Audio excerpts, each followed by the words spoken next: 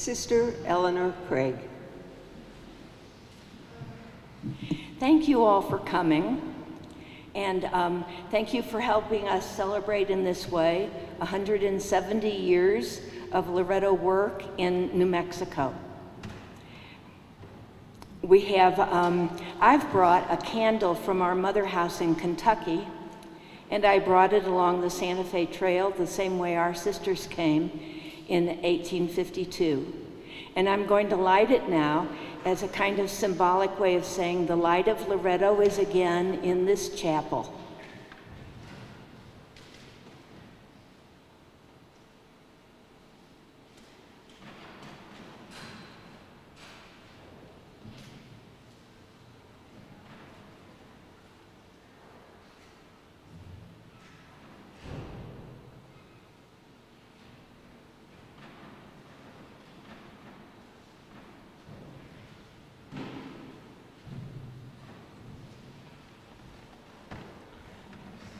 O suffering Jesus. Together we hold in our hearts treasures of experience and stored up memories, looking to a bright future as we stand this moment in the chapel of Our Lady of Light, knowing her own readiness to ponder happenings that called for deep reflection. Let's listen to God's word and pray for the grace to continue responding gratefully and faithfully.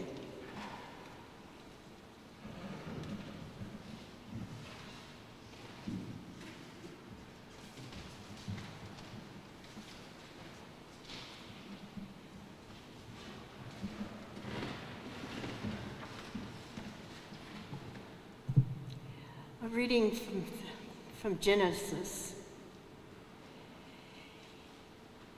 In the, be- in the beginning, God created the heaven and the earth. The earth was a formless void, and darkness covered the abyss, while God's Spirit hovered over the water. Then God said, Let there be light. And there was light.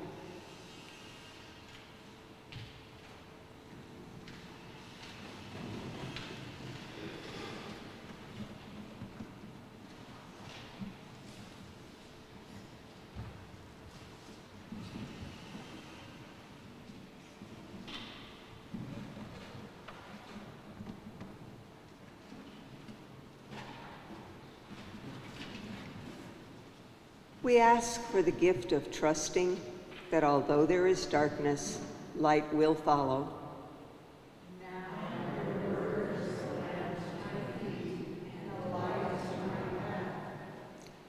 We ask for strength to walk courageously wherever the light leads.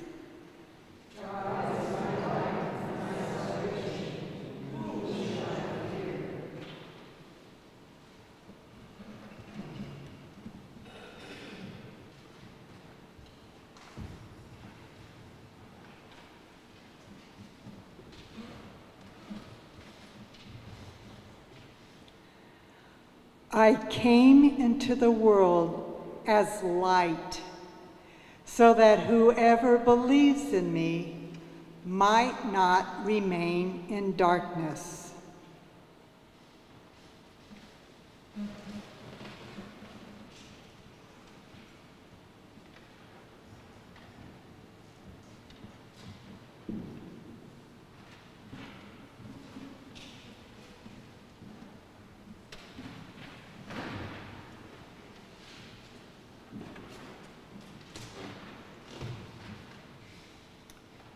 You are the light of the world.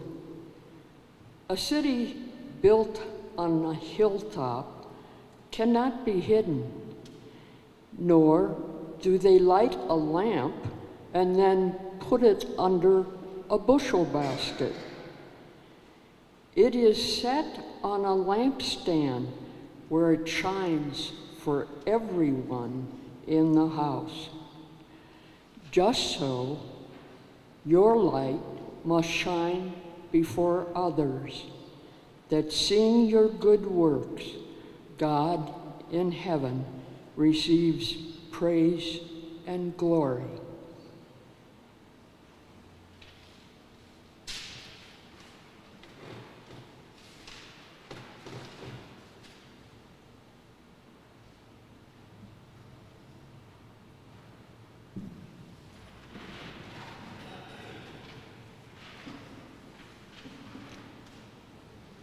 Remembering the history that witnessed the courage of our early sisters just 40 years after our foundation to undertake the journey to Santa Fe.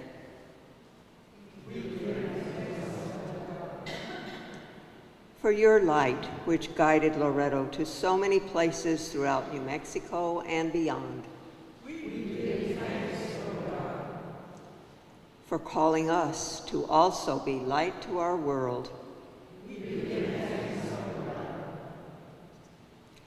As friends of Mary, we thank you for her beautiful role in bringing you, the light of the world, to this land. Amen.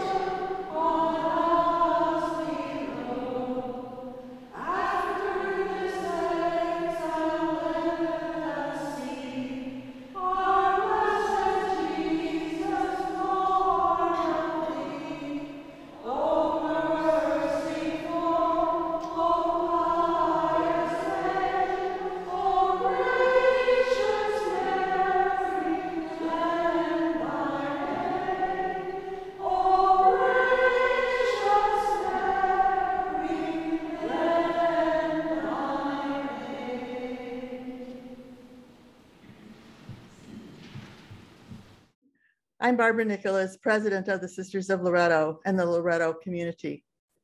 It is my privilege to welcome you in the name of the Sisters of Loretto and co-members of Loretto. Together, we are Loretto community.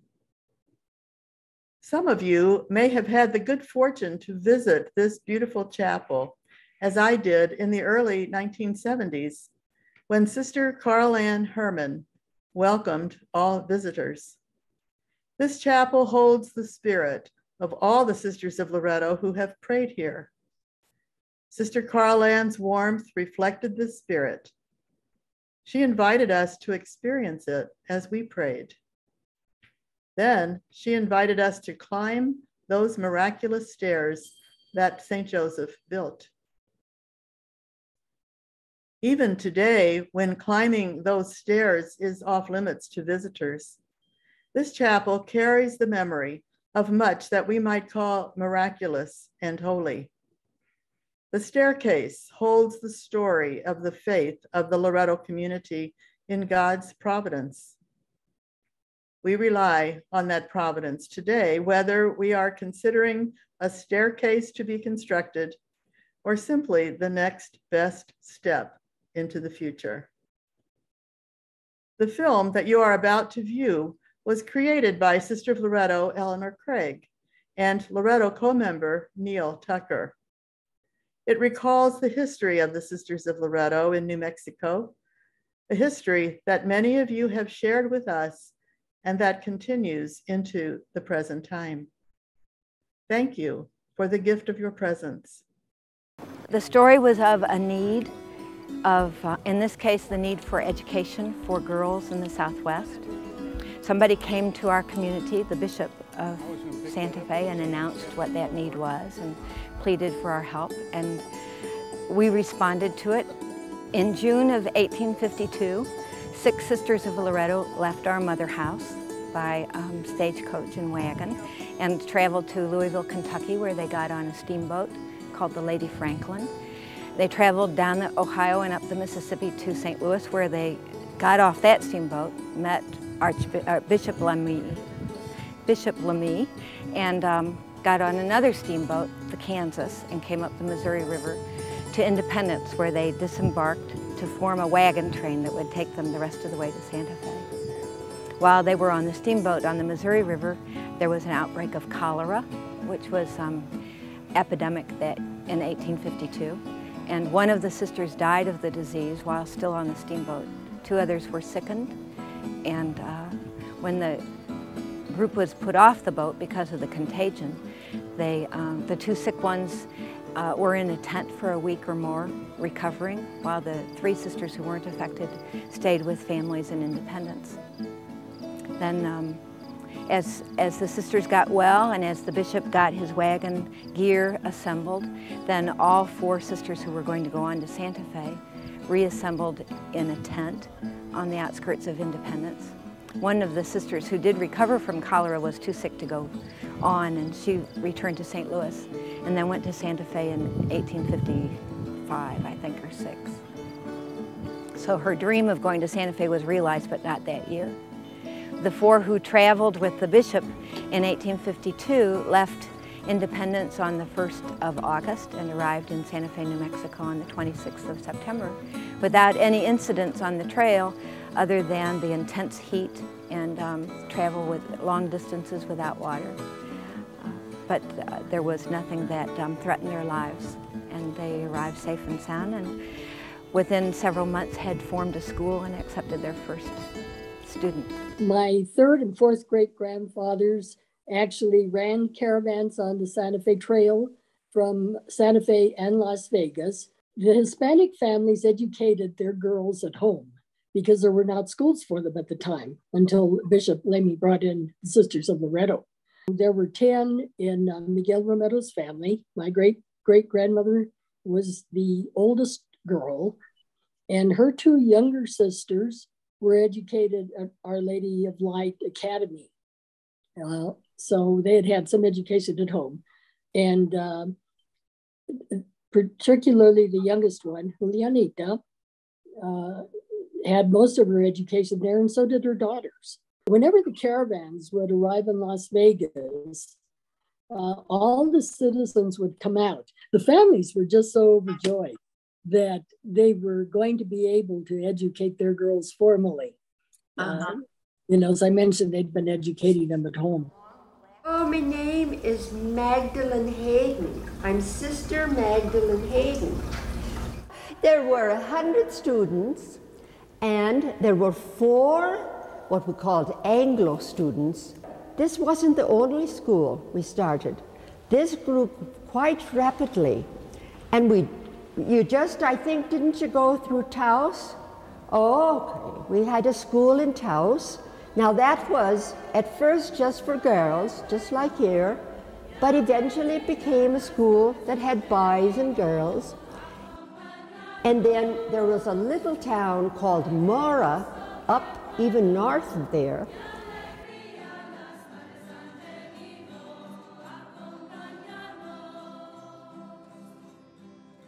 And then south of here, there's a place called Bernalillo.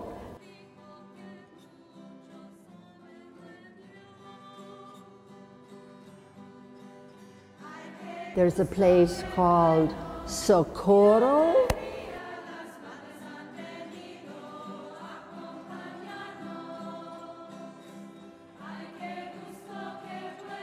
There is a place called Las Cruces.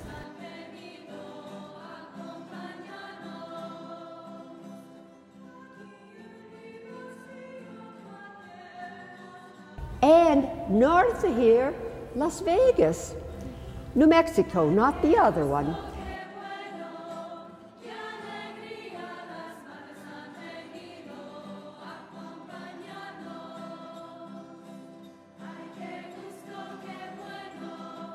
Anyway, we had schools all up and down. When was this chapel built? We started in the 1860s. It was finished, really finished, by 1878. Could you tell us the story of the staircase? I heard the carpenters complaining that they weren't sure how they were going to do this stairway. I do remember that.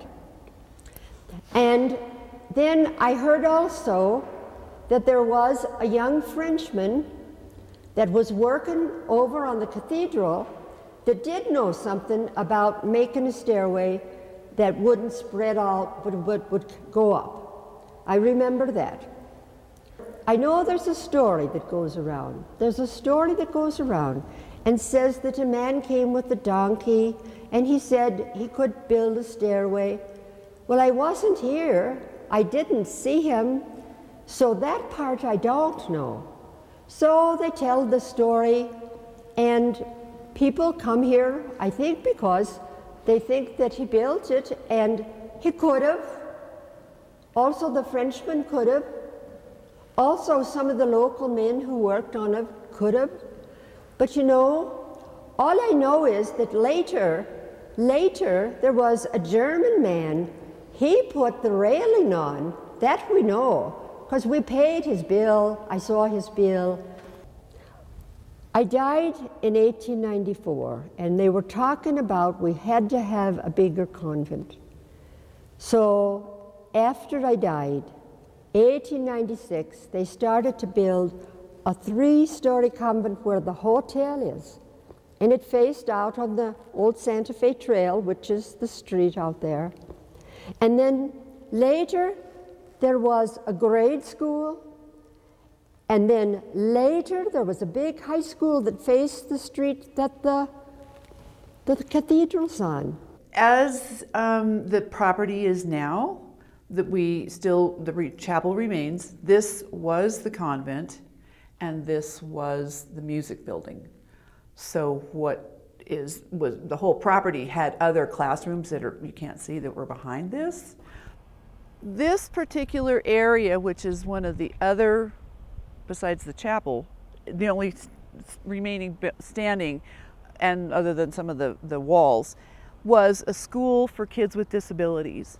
And I love the fact that they called it the Opportunity School instead of handicapped or but we, this um, kind of area right here was the playground. I mean, we had swings and teeter totters, but all the kids from the elementary school and the opportunity school would all come out um, and have recess together. There were two sisters, two sisters of Loretto, like I am, who decided to have a school for children with learning disabilities. And so First, the little buildings had been chicken houses. That originally they were chicken houses.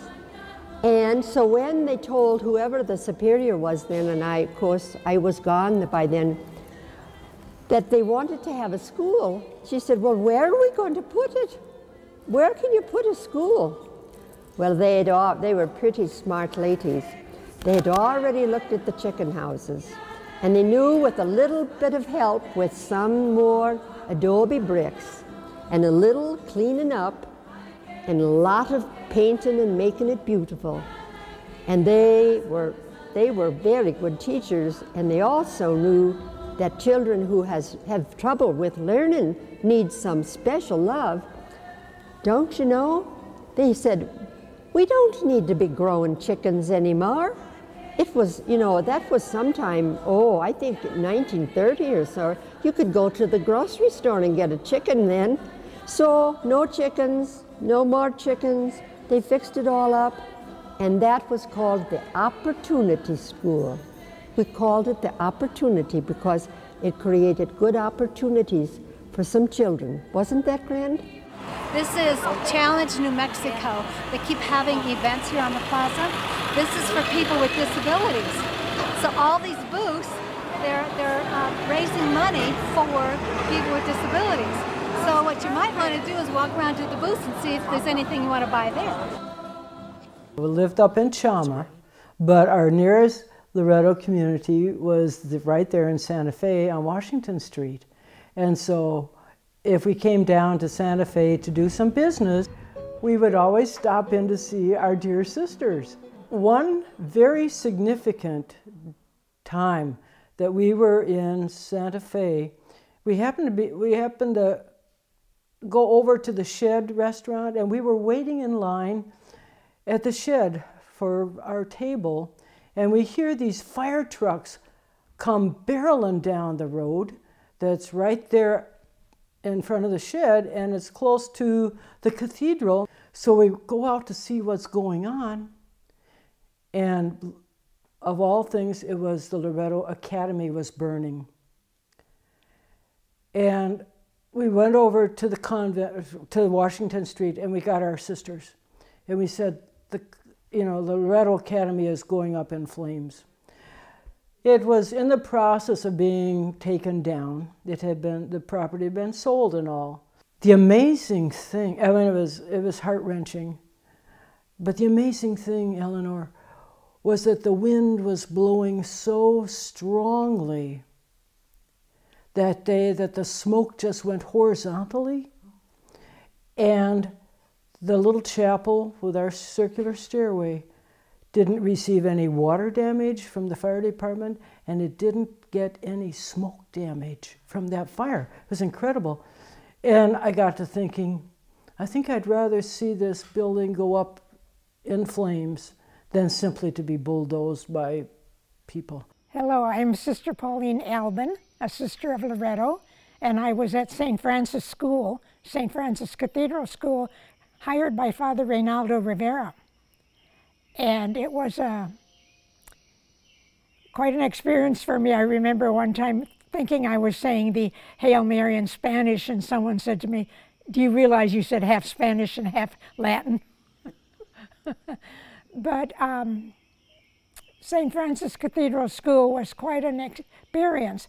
Beautiful school with these paintings of the Canticle of St. Francis of Peace I really uh, was impressed with Santa Fe. I loved Santa Fe. We, I did get an award from the State Department, and when I accepted the award, I said, "Oh, this is for all of the Sisters of Loretto who have ever been in Santa Fe." I was a student at uh, the St. Francis Cathedral School, and there were Sisters of Loretto teaching there. And then I was at St. Mike's High, and by then it was co ed, but there were Sisters of Loretto that were teaching there.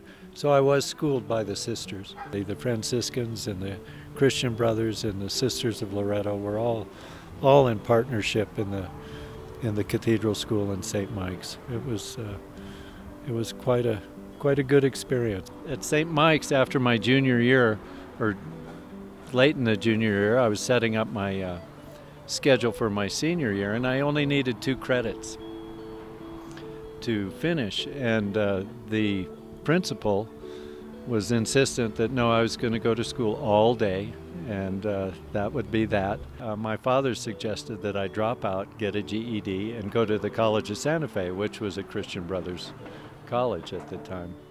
So it involved permission, and um, my father had signed the, the slip, and I took it in to Brother Ralph, the principal.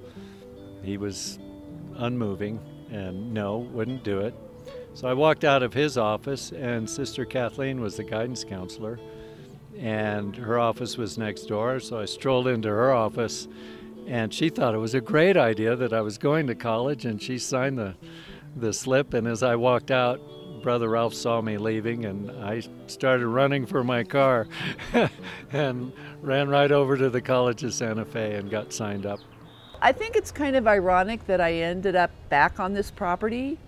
And so in my total 67 years, I've had a shop inside the new hotel, um, but I walk by the chapel every day. And, you know, sometimes I think about the good old days, and sometimes it's just, isn't this a beautiful structure that I get to see every day? Or I hear the church bells as I'm going in. It's like Cinderella. Ah, the bells are ringing. I better hurry up and get to work. Um, but I think the so between 39 years and five years, I've been on this property for a long time. So it's um, held a special place in my heart just because I've, I've been here for so long. It's wonderful that you're here. I was in Santa Fe for several years. I was uh, working with the in the health and environment department when it was two departments then, and then I was uh, the founding director of the Women's Spiritual Center, and which was interfaith and um, multicultural. I also taught in high school there, uh, taught Spanish, also taught in the community college. So some of you may remember me. I remember many of you, and I'm so glad you're here today. And thank you so much for coming, all of you friends of Loretto.